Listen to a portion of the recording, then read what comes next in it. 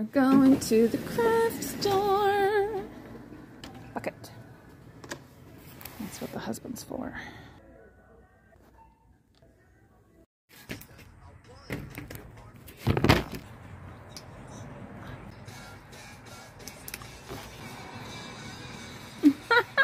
I got glitter white. Uh oh. Sometimes when you make mistakes, you just gotta roll with them. And after several layers and very sticky hands, we have glittery shoes.